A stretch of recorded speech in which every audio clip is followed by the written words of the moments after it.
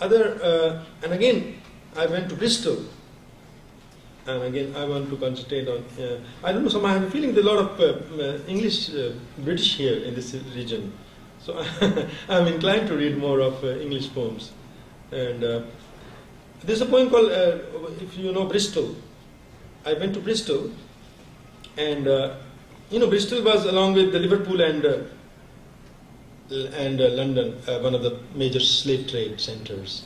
They will ship uh, the coffin ship that will put they will put these um, slaves or or even Ireland from Ireland the, the famine the, during the famine they they'll put on these coffin ships and half of them will die on the way. Some will reach America and then it will be like big, you know. Otherwise, so this this kind of and I was so upset there, and they were asking Tony Blair to ask for forgiveness, saying that, well, you should, you should, you should ask, you, should be sorry for it.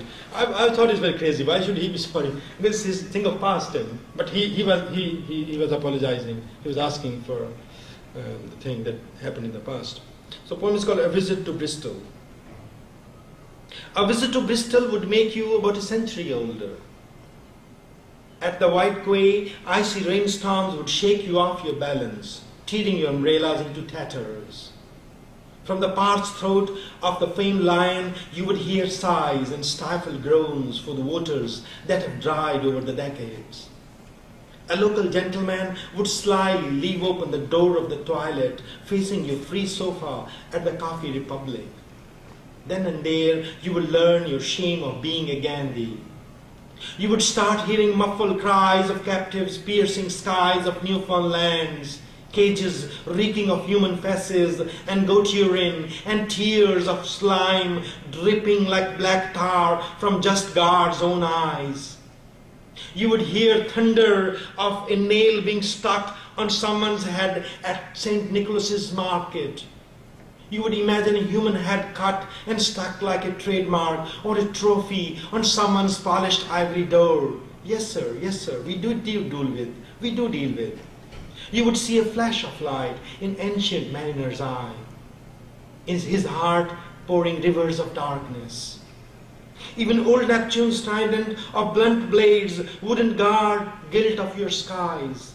Mr. Kurtz, he's dead long ago. Only at the slow food market, hardy folks would resume their old roles and resort to the oldest trade of the land at the very doorsteps of Super saints' Sainsbury's.